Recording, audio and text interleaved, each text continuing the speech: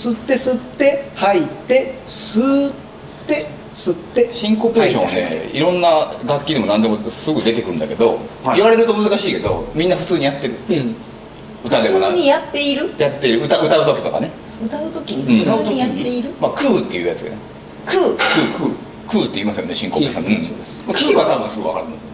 なるほど。そう。シンコペーション。シンコペーション。シンコペーション。した形は、はい、通常の形がはい。肩に対して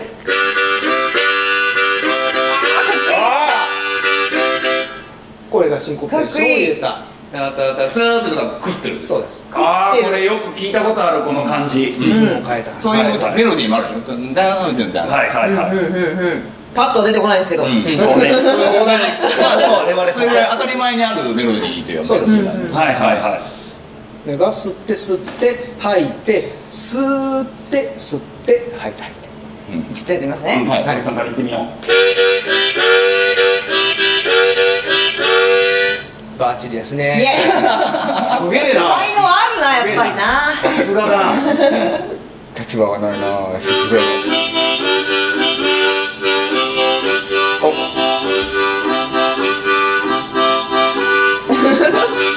ん？どどうなった？最初の方はですね最初合ってましたよね。まあまあでもまあまあできてます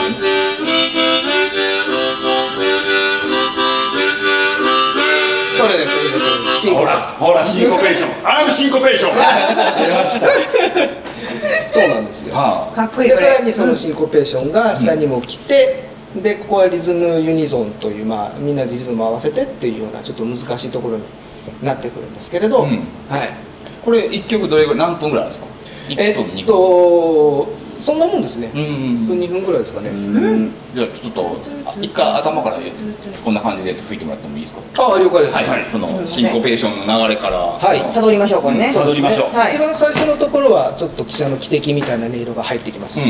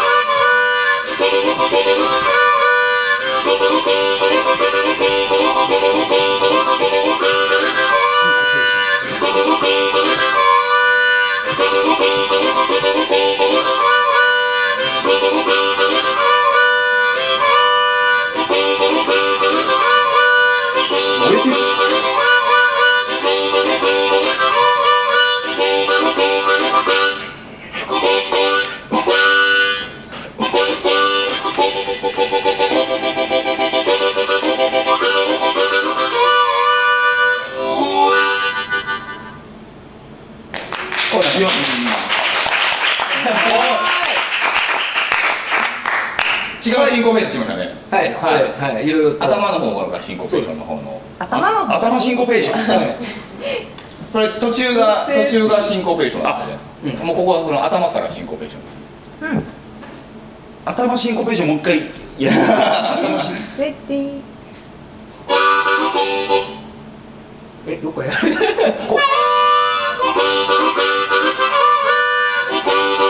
あこんな感じです。吸って吸って吐いて。吸って吸って吐いて吐いて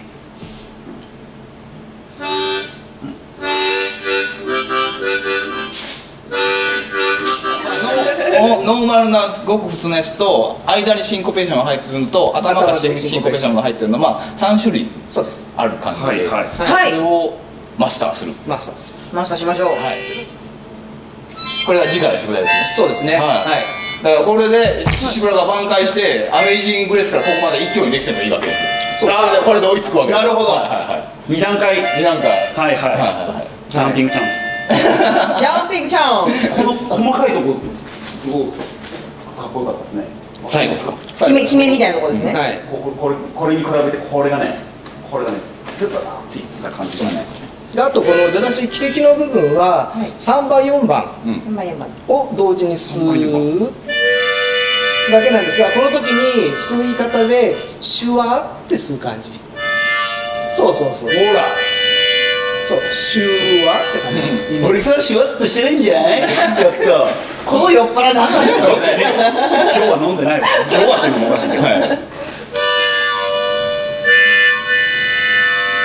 今のと「あうわ」っていう感じなので「シュワ」っていう感じ。シュワーって言いながら吸えない。で すこんな感じ。ですそうそうそうそうそうそうそうそうできちゃった。あそうそうそうこれはうまいですね。はいやっぱりね。口元がだらしない分。鳴らしないんですから本当に。言われるよ。はいじゃあ。じゃあこれを次回までの宿題としてそうですね、またある程度できたらやりたいと。連絡くれればまた一応聞いてない前回勝手に言われたのあの前回はその堀さんがそろそろこの講座をもう一回やってくれって連絡あったんだけどそれの連絡なかったのいやもうもう最近最近の出来どうみたいなでき始めたみたいなところで、俺もやってるよぐらいで、次はもうしといたからみたいな連絡しといたからああ事後報告事後報告だったんでだってできたんですもんいやできてましたね素晴らしいですこっちは出てなかったけどまあまねあんのよまあじゃあ次回お楽しみに。はい。そうですね。はい。はい。楽しみに。わかりましたはい。はいじゃあ大竹先生のハーモニカ講座。講座。はい。どうもありがとうございます。ありがとうございました。もともと展示紹介コーナー。だ けどあのもともとさんはこちらの展示コーナーがあるんですよ。この後ろに、そうなんですよね。で随時いろいろ変わってるんですよね。で今はその大竹さんのやつがありますけども、はい。えっと物をこう紹介したり売ったり本とかいろいろありますけど、はい。これの、えー紹介をコーナーでやりたいと思います。はい。はい。で今日はこちらのはい、はい、よかったらお名前をよろしく。はい、えー山梨から来ました川口企画の小林和樹です。よろしくお願いします。はい、よろしくお願いします。はい。川口企画はい、そうです。ってい。うのは何をやるえ会社なんですか。っと僕らはですね、はい。もう北は北海道からはい。南は沖縄、もう石垣島の方まで、はい。日本全国のえー伝統工芸品はい。をこう皆さんに紹介している会社です。はい。うん。はい。伝統工芸品っていうのはどういうものなんですか？ね。こう結構皆さんイメージの中ではその芸術品とかうん。右にお土産品を想像しちゃうかと思うんですけれども、うん。僕らがメインでやってるのは生活用品ですね、例えばたわしですとか、うん。まあ、包丁ですとか、うん。例えば障子紙なんかもそうですね。そういうものを皆さんに知ってもらいたくて、うんはい、紹介してます。へえ。でこれをここでいろいろ展示して売ってたんですか？そうですね。はい。なるほど。これからもやっていきますし。あ本当ですか？はい。はい。でいろいろ商品を紹介していただきたいんですけど、はい。えっ、とまずじゃあ一番一押しの商品を、そうですね、はい。何かありましたら。えっと、今回一押しがですね、まあ花火ですね。こういう感じで、はい。線香花火をしましょうか。はい。線香花火線香花火は。風流ですよ。そうですね。時期。が時期です時期が時期でね、でもちょっとこう実際もう夏も終わりかけちゃってるんで、う外れかけてるんですけど僕らその夏の花火も紹介しつつ、ん。冬花火を推してます。はい。冬花はい冬花火？冬花火ですね。はい。これあの、まあ、日本で作ってる九州の方で作ってる線香花火なんですけど、はい。はいはこれを、まあ、冬の夜、まあ、誰かとはい。こうその日の一日でもいいし、うん。今年一年でもいいし思い出しながらこう、うん。改装しながらロマンチックに楽しんでもらいたいなという線香花火です。なるほど。はい、え、こう手に持ってこうパチパチする感じのイメージ。そうですね。はい。はい。はいこれはどうか違うんですか？普通の花火とは。全然違います。全然違います。まず長い。長い？長い。長さ長さじゃないです。ねあの燃えてる時間が、はい。まい。なるほど。へえ。あもう全然違います。でもちろんその弾ける感じ、うん。すごい綺麗ですし、うん。まあ、当然見ても分かると思うんですけどこれ染めてる和紙で綺麗に可愛く染めてる、まあ、その見た目も違います、はい、色綺麗ですよね。なんかあの色綺麗。そうですね。赤赤と黄色のなんかあるじゃないですか普段ね普段のやつ。ね。はいはいはい。ドンキで買うやつでしょ？どこでも売ってるドンキから。あれも綺麗だけどこっちも綺麗みたいな、はいはいはい。よく全然綺今麗ですね。その辺があの一般的には普通になってるってことですよね。そのいわゆる中国製みたいな。そうですねはいはい結構100円ショップでも売ってる時代で。そうです。あです。ねああいうのとは違うよってことですよね。はい、でもああいう柄も作ってます。あれもともと今中国製だけどうん。もともとは日本で作ってたのを今中国で作ってるだけなんで、うん。それもあのあその今言った黄色？うんとか青とかのやつも作ってますね、うん。へえ冬はこの色でということじゃなくていろんな、シリーズを、うんあそういうことなんですなんかあとね関西と関東で違ったりとかする。そうです。あの線香花火2種類ありまして、はい。まあ、関東型関西型みたいな。これ今あるのは、まあ、これ見てもらってる方は結構こっちが見慣れてると思うんですけど関東型手ボタンですね、普通の手ボタン普通の手ボタン色からこう下に吊るしてこそうちょっとこう入れる。はいはい。あ落ちる落ちるみたいな。誰が一番落ちるかだけはい。で関関西型がこの。これスボ手ボタンって言いまして。すごい。スボすごいじゃん。スゴじゃなくてスボすごうん、これわらスボっていうのを使っててこの色がついてるとここれ和紙なんですよ。はい。はいはこのスボテボタンがちょっとちっちゃいんですけど、うん。これはこの茶色い部分持ち手があの藁のスボって言って頬を抜いた時に下にくっついてる猫じゃらしとかこう抜くとはいはい。ついてきますよ、ありますね。藁にもああいうのがついてスボって言うんですけど。おー。あれ私それそう。やった気する。えっと大竹さんはお関関東です。こっち関東こっちですか？はい。僕千葉なんで全然上のはいこっちのそう。手ボタン堀さんはあれですね。はい大阪で。こっちのイメージですけどそ昔ですけどね。俺もこっちのイメージですよね。僕神戸なんですけど。線香花火といえばってこれああおもちゃで5本ぐらい入ってそうそうそう。さん30円ぐらいで売ってたよね。いやちょっとへー。そうそうかな。でこれ関西型ですね、うん。それ型。でこう普通垂らして持つのがまあ関東なんですけど、うん。そっちはこう上にこうもうこううん。斜め上を向けて、でも関西人の気質ですかねこうああもう行くぜまだあげたんでやめてくださいよないでしょ関西人二人とも火つけてこうだんだんダマになっててバリバリバリバリバチバチバチみたいなっていうやつですよねそうですそうですはいはいうんそうそうそうはいはいはいだからこの方あの作ってる方この間タモリクラブに出たらしいですよこの間えタモリクラブで線香花火の番組やつの見ました見てないですかあ見てないです。ほんの1か月半とか2か月ぐらい前。うん。結構夏テレビ引っ張りだこでしたね、あそうなんですあかそうなんですえやねっぱ線香花火といえばこの人みたいな感じなんですかこの線香花火っていうと何人かいます。何人かいるうちの一人だけど、うん。この関西のこのスボテボタンを作ってる人はこの人だけ、へえそうなんですね。どこで買えるんですか？もともとです。元々。カフェもともとでマジっすか？ジョージやるんですね。か？常時買います。常時買えますはい、はい。へえーちなみにそうですね。はい。それらの方は？こっちはまあ1000円。1000円。はい、はい。はいこっちはまあちょっとここにも書いてあるんですけど、えー、340円はいはい。です。へー。え何本入りとかですか？12本入りです。12本入り。はい。あれですか？あれです。あちょっと見せて。これだそうです。あら。こっちがそのあれですね。スボの方ですねスボテボタンへそうですね。これがその声を声みたいな。そうですはい。どちらも12本で。そうですね。いやちょっと洒落てますね。うん。あのほら。ああすごいこれは可愛らしい。こう入ってこう入ってるんですよ。これはでも大人ですね。大人な感じ、ねいい匂いしそうですもんねなんかね。うん、うん。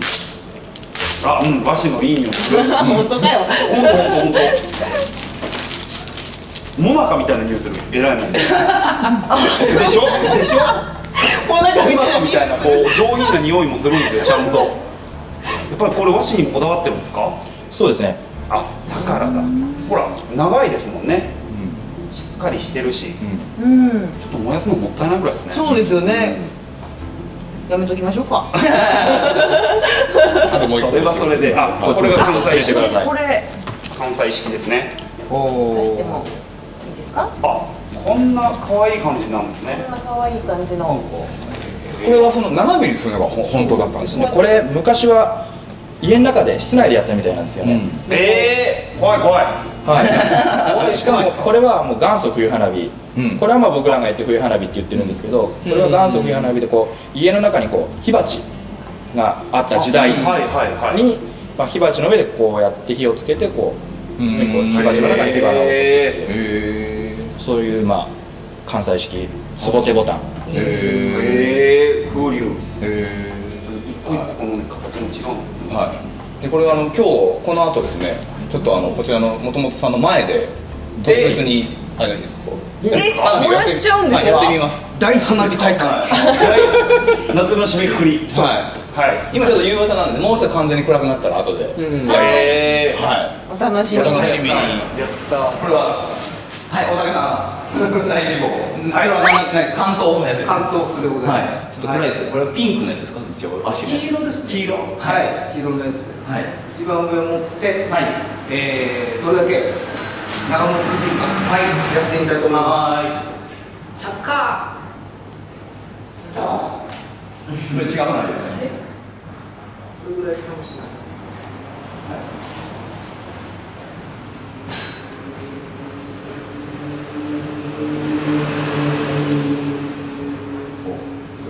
その位置固定でおいはい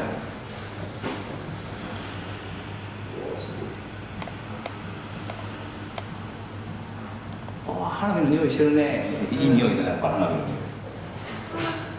から来るんですよねこっから来るんオですよレンジの感じがこれで終わりと思わずこっから来るのがねあーすごいえ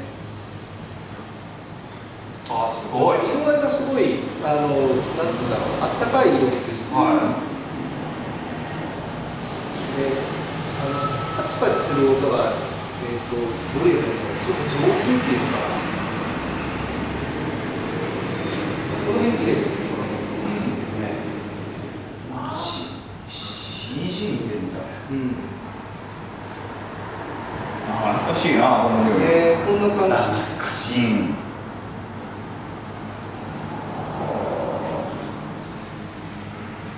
なんかねこの間そのタモリクラブでやったけど全部名前があるんですよこの状態に。あえ初めの時はこれで最後のこれこれ第一形態なんかボタンとも。終了です。望月終わりましたあすごい。落ちないんだ。素晴らしいはい。はい。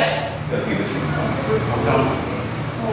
のえーっとえちょっと待ってなんか違くない。い。い。大丈夫何もうい。い。やつよそれ初めはそんな感じえちょっと大きくない。ですか大丈夫大丈夫だ大丈夫あ性格もあれなこれ絵的には大きい。でこっち花火が溢れるい。い。女とかの路線が大丈夫大丈夫だよあんまりい。い女に見えないえ嘘そうそう水着下に今日はそうですね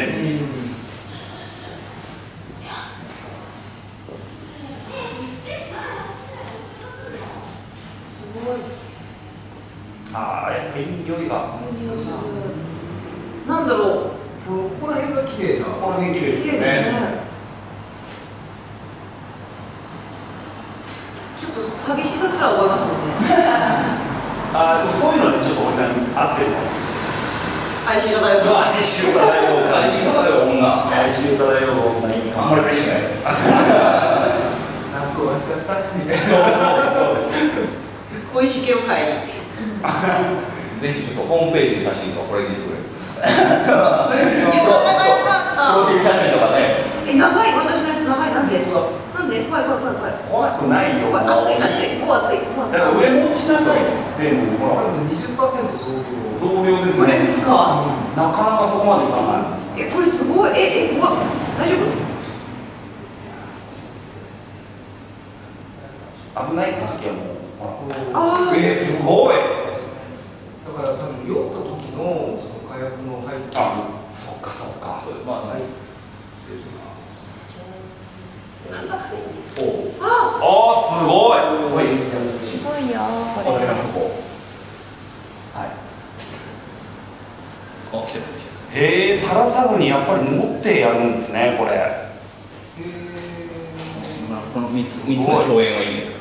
なんかこっちの方がちょっと派手な気しますね。うん確かに確かに。あえこれ落ちる？普通に下向けてか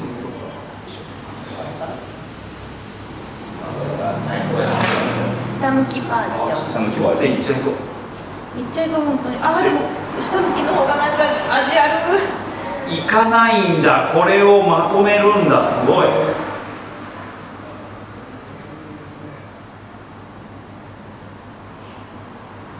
こういう絵欲しい欲しこんな感じこんな感じいい感じだよいいい感じですか思ってた通りですか落ちちゃう落ちちゃうあでも早いかなもうああ落ちうわねー落ちないなうんこのまという花火はこの後のお楽しみで楽しみはい。他の商品もいっぱいあります。もちろん。はい。こちらにもはいもう出てますけど。はい。何がいろいろおすすめですかね？そうですね、まあ、最初にも言ったんですけど伝統工芸をまあ僕ら紹介してて、ちょっとだけ伝統工芸の真面目な話ってはい。してもいいですかね、はい。はい。はい。お願い。で伝統工芸って、まあ、最初言ったみたいにこう生活用品なんですよ、で、まあ、100年200年300年って日本人が使いやすいように使いやすいようにまあ、いろいろ形が変わったり素材が変わったりしてきてそういうの使いやすくて長持ちするんです、うん。ただ今それがなかなかこうあの見ないんですよね。本来なら生活用品だから身の回りにあったはずなのに、うん。今身の回りで何作ってんだろうって考えてもうん。思いつかないと思うんですよ、うん。でそれなぜかっていうとやっぱりその伝統工芸いいものなのに今ピンチなんです、ではいそれなぜかっていうと職人さん物を作るのすごく上手なんですけど、うん。まあ、口下手というか商売下手なところがあって、あのーちょっとまあ後継者ね弟子が育たなかったり、うん。そう生活苦しかったりする。で僕らはその職人さんたちが安心してものづくりができるように、僕らはそれを頑張って紹介していきますと。日本中駆け回っていろんなものを見つけて世に出していきます、はい。で、まあ、僕らのその社長もよく言うんですけど、うん。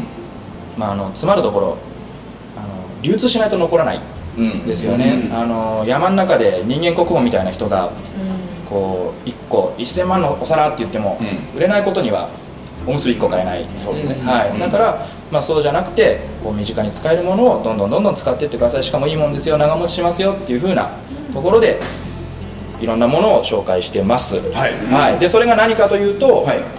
まあ、今一番手元にあるやつからいうとこれ、まあ、さっきも言ったたわし、はい。たわしですね、皆さんこれ普通のたわしに見えるはずなんです、はい。ただこれ。皆さん普段使ってるたわしはあれパームヤシ。うんうんパームって書いてあるはずです、はい。これは白。白ボートの白、はい、すごい柔らかくてうん超気持ちいい。うん。でこう汚れもよく落ちるし傷もつかない。から体洗いましょうって言って作ったのがボディたわしおおえー、体いけますかたわしで？すごい気持ちいいですこれも。ー。はい。痛くないです。へはい。はい。ええー、あここだ。すごいだからあああでも滑らかなんですよね。はい、そうですね。このたわしと違って。でこれがまあ白だしで、まあ、ちょっとバリエーションでこれはまあ白じゃなくてサイザル麻っていう麻を使ってるやつ、麻はい、あなんかいけそうですよね。いけるいける全然いける。和歌山で作ってるんですね。そう和歌山の海南市っていうところ。これは生活用品日本一の町っていうところで、へえそうなんですか。はい、なんか駅降りると看板出てるんですか？看板と一緒にこう便座カバーがダーンってなるほどね。はい。はい。中が美味しいな白白のこれはこれ今言ったやつです、はいはい。ほらあ全然いけますね。傷つかないですか、えこれちなみにいくらするんですか？これは。これは2200円2200するんですけど、これも2200円もともとではい。販売してますんで、長いですかそうそういけんの？あこれいい。白っていうのは知らなかったですねうん。はい、でこれ、まあ、白、まあ、あの実はし、まあ、僕ら伝統工芸で日本の職人さんが作ってくれてるんですけど、うん。実はその原料はまだ輸入なんですね、うん昔は日本でできてたけど今もうその白を作ってくれる人がいないんで、はい。あの輸入に頼ってたんだけどまあいろいろ町おこしとかの流れの中で、今白作りを復活させようとうん。言って、は。はい、でその純国産もう白から日本で全部作ったたわしっていうのを作ったんです、うん。2年前に、はいはい。でまあ値段をつけましたと、うん。価格が、えー、2500円。うん。たわし1個、うん。はい。まあ、今はそんな感じです、うん。でもまあ今後いっぱいいろいろ広がって使ってもらえば値段もこなれてくる。っていうところです。で今まあ顔もなんて言ってたんですけど、顔洗顔ですね。洗顔で紹介したいのはこれですね。はい、え何ですか？洗顔用のもあるんですか？これ洗顔待って。ください皮って書いてありますよ、はい。え皮？皮？皮ですね。はい。これはこう。こするんですか？こするんです。はい。これ何の皮か皮ですなんですけど、これ鹿の皮なんですね、はい。鹿。ええまだ奈良で作ってるんですか？作ってないです。これ皮を作ってるのは奈良で作ってるんですけど鹿はあのまた違うところのキョンっていう鹿、はい。あキョンってあれっいますね。今すごくこう受けてて、うん。まあ、顔が綺麗になると。あの顔が綺麗になるって。楽器もいいみたいですよほら。あ本当だ。はい、だからあのなんだろう天体望遠鏡とかの,、うん。あのレンズとかあとはいはい。カメラマンとかあと楽器もそうですね。ああでこういうここのレンズでもいいんですね。はいそうです。はいはいメガネも？のストラディガネっはい。てなんかあると思うんですけど、あれの奏者がこれを気に入っていまだに使ってるなんて話を、はい、聞きますね。であのその鹿の皮を、まあはい。キョンセームって皆さん聞いたことある方多いと思うんですけど、はいあのまあ、いろんなまがいものがある中でこれが本物。うん。で、まあ、最高品質。ではい。髪の毛の15万分の1ってはい。あんま想像つかないと思うんですけどそうですね。まあ、それの繊維がここにこういっぱい生えてるんです、うん。えー、もう単位わかんないですもんね。15万分の1って言われても。ピコ。えじゃあ何の？メインメインというか一番のメインの使い方はこう顔をこうでそうですそうです。腹くためのはい。これこれどうやって使うんですか？ここれ普通に洗顔石鹸つけてもらって。こにつけて、はい。でこするんですか、はい。でこれを紹介するにあたって僕は2週間はい、顔の右側だけこれで洗い続けたんですビフォーアフターみたいなはいはいはいはいはい。そしたら一人だけちょっと気づかない人いたんですけど、まあ、その時はもう夕方だったんで。はいはい。あのーみんな気づいてくれました。気づいたらでも変じゃないですか。違うんですよ。だから。半分ちょっとツルツル白機械ではズなってますけど。はい。確かに白くなるんですか？白っぽくなりますね。くすみが取れるというか。えおいくら？そうですねおいくら。まあだからそうねやっぱり800円。800円です。えあー、あの後でいただきますので。結構もうちょいいくかなと思いましたけど。そうですよね、これもまあもちろんもともとでいつもありますんで、はい。はい。これいいですよ。がレンズから顔までいけるってすごいですあのよね、ーまあ言い過ぎなんですけど絶対傷つかないけど綺麗になるっていう、うん。はあはいはいはい。ぐどれぐらい使えるい、その人の顔によりますね。皮皮の厚さによって。えー、本当ねでも一人ちょっと顔ちっちゃめなんでもうちょっと持つかなと思うんあですごいね自分をアピールしていくねこれねそういうの大事よでこうでこ使っていっぱい宣伝してください。はい。はい。あ綺麗に。はい。じゃあプレゼントします。プレゼントです。はい。うおすげえじゃん。えー、やってみるもんっすね。これ本当にあれよもうあの芸人仲間から「お前今日ブスだな」とか言われたらあだから顔半分であ顔半分でずっとこれから。じゃあシシカさんと逆側だけやりますね。あの なんかこっち側だけ。でハーモニカ用にぜひ。あああそうか。楽器もいけますもんね。じゃあハーモニカ。の半分だけ吹いて。違います。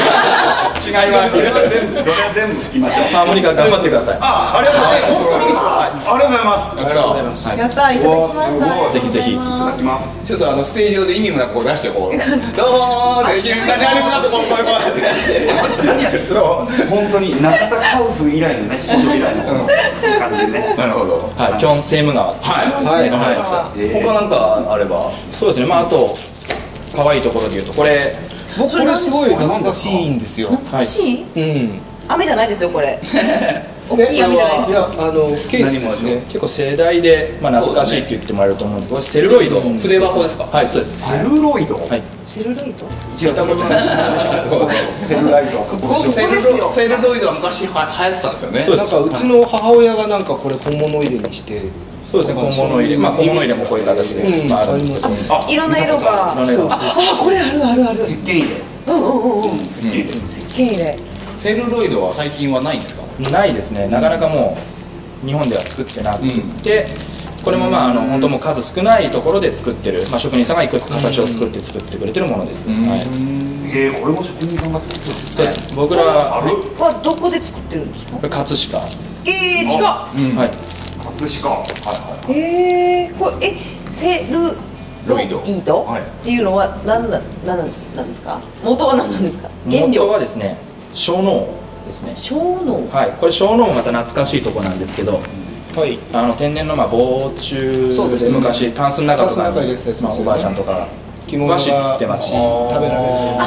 くるんでる和紙でくるんでるやつ？そうそうですはいはいはい。はい。この小脳を使ってまあ作ったのがまあこのセルロイド。セルロイドって昔戦後とかそれぐらいのもんですかそうです流行ってたのねはい。なんか俺も俺がもう子供の頃時点でだいぶその懐かしいグッズに入ってたけど昔はそのここういうのはセルロイドが当たり前だった、まあ当たり前。プラスチックの前みたいな。あそうそうそうそう。そうだそう。だプラスチックのイメージなんですね。そうそう。だからおもおもちゃもセルロイドのやつとかで。あセルロイドのおもちゃ聞いたことある？そうそうそうそう。はいはだからそれこそあの昔懐かしのおもちゃ館みたいなセルロイド製のやつが何万円とかで売ってるような材質ですよね。そうです、でこの柄に限ったことではないってことですか？もうそういろんな色が色柄ができる。なるほど、ん。真っ白もできたりと。できますね。あともう一個いいですか？はい。あ一番大好きなこれやつです。よ大好きなやつ出てきますよ、はい。包丁。はい。は包丁好きけど危ないですね。いこれはね。いこれはあのこの本本さんが入ってくれてるところの生活クラブ生協っていうところなんですけど、まあ生活クラブ生協の、まあ、組合員さん、うん。まあ主婦の方々と一緒に作った包丁なんです、あそうなんですね。で、まあ、これ昔からの、まあ、ナキリっていう包丁で、はいはいはい。まあ、鉄の錆びるタイプのうん。包丁で、うん。はい結構皆さんこう食わず嫌いで、うん。えーって言っちゃうところがあるんですけど、そうじゃなくて、まあ、昔から